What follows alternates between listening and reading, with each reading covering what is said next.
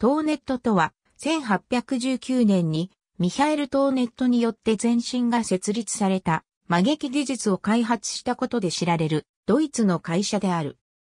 世界で初めて大量生産、マスプロダクト生産を実現した企業でもある。現在は創業者、ミハエル・トーネットの5世代目にあたる直系子孫が会社を継続経営している190年以上の歴史を持つ企業。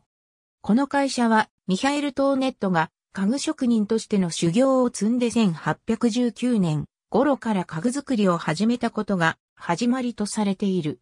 ミハエル・トーネットは当時の木はまっすぐな素材という考えが支配的だった時代において曲撃の技術の開発に着手する。板を二皮で貼り合わせて曲げる技術を習得すると、1841年にはフランス、イギリス、ベルギーで特許を取得。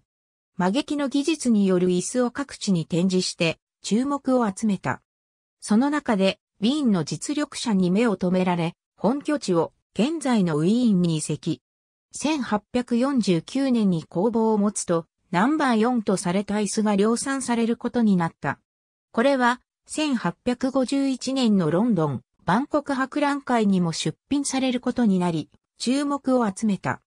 1853年に社名をトーネット兄弟社と変更して5人の息子と経営に当たるようになる。1857年に工場をウィーンからチェコのコリチャイヌに移転させて安価な労働力とブナの供給を確保した。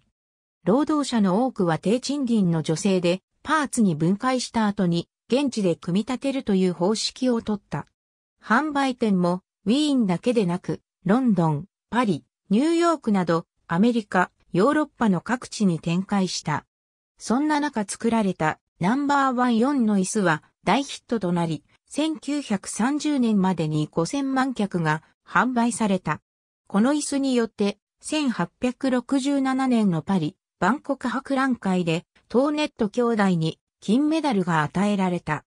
1871年にミハエル・トーネットの亡くなるも5人の息子が経営に当たった。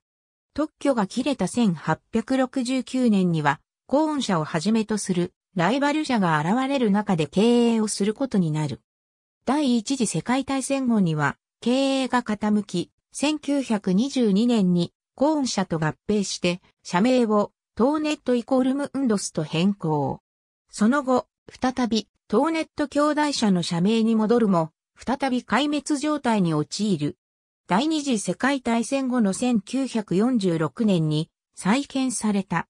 ドイツフランケンベルクの生産会社とフリッツ・ヤコブが担う販売会社のウィーントーネット社に分かれる。その後に冷戦の影響などにより完全に別会社となる。現在はトネットブランドの国際的商標権は、ドイツのトネット GmbH が持っている。